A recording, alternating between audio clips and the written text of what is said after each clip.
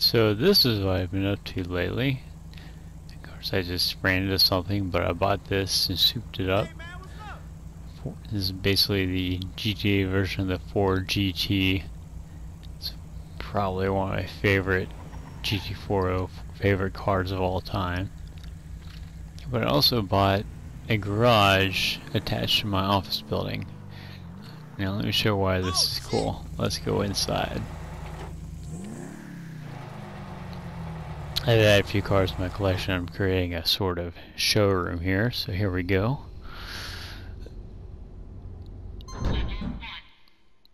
Level 1. As you can see, I've uh, begun quite a collection here.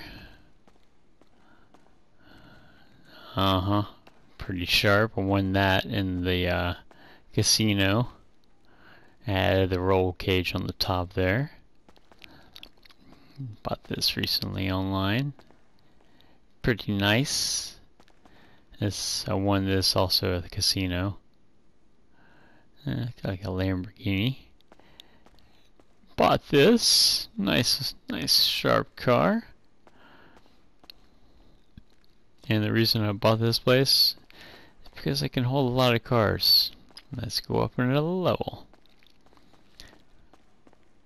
Oh, look at that. I just bought and uh, decked out this thing. Make it look like a cool little almost military motorcycle. The military would never drive something like that. This is one of my very first hot rods I ever had. Personal favorite. And I bought this whole thing online. It's like a James Bond car. It's got machine guns and everything. But there are more levels to it. And I do believe it comes with 10 spots initially.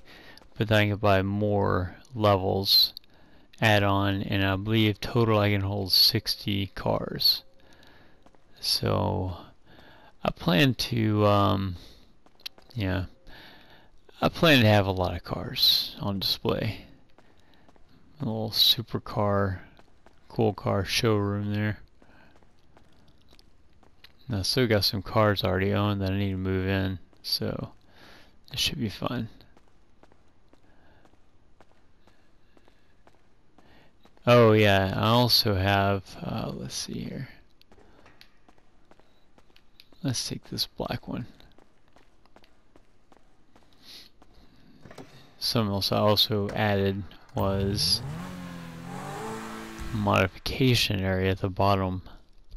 Or I guess in my garage so this is actually in my garage. I can do all my mods here. I had to pay for it.